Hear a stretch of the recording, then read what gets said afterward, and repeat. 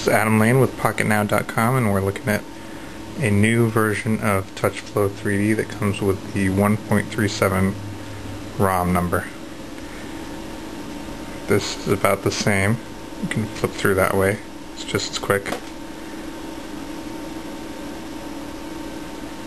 However, now when I go like that, you see the background moves and then content comes through.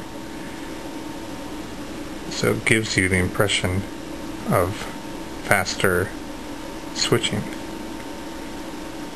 See how quick that is now?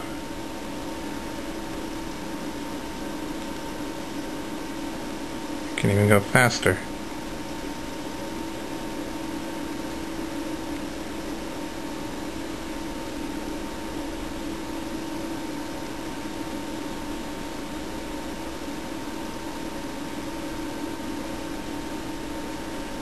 That's that's still kind of slow.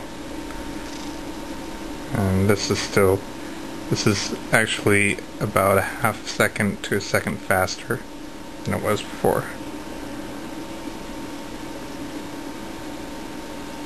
So you can see it's much better now.